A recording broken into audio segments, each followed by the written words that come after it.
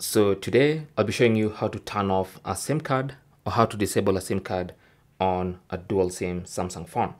So go to settings and then go to connections and then go to SIM manager. Now if you tap on that, you will see your SIM cards. So for instance, uh, my phone has two eSIMs. Now, of course, you have the opportunity to put two physical SIM cards if you have them. But for me, I'm using two eSIMs for my dual SIM setup.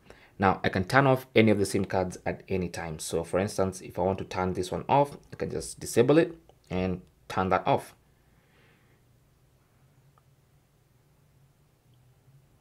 And once it's off, my phone will only have one active SIM card. This, this one is turned off. So that is basically how to turn off one SIM card in a dual SIM Samsung phone. Right, now I could, I could turn this one off as well if I wanted to, but that is basically how to do that. Thanks for watching. Don't forget to like and subscribe. And if you have any comments or questions, talk to us in the comment section. Good luck.